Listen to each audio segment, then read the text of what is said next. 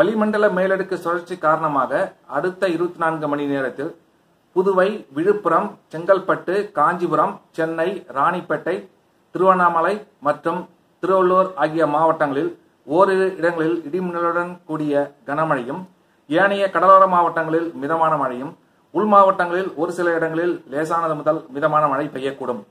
நாளை நீலகிரி கடலூர் நாகை மயிலாடுதுறை மற்றும் விழுப்புரம் ஆகிய மாவட்டங்களில் ஒரு ஒரு ஓரிரு இடங்களில் கனமழையும் ஏனைய கடலோர மாவட்டங்கள் மற்றும் புதுவை காரைக்கால் பகுதிகளில் மிதமான மழையும் உள் மாவட்டங்களில் ஒரு சில இடங்களில் லேசானது முதல் மிதமான மழை பெய்யக்கூடும். கடந்த இருபத்தி நான்கு மணி நேரத்தில் தமிழகம் மற்றும் புதுவையில் பரவலாக ஒரு சில இடங்களில் மழை பெய்துள்ளது.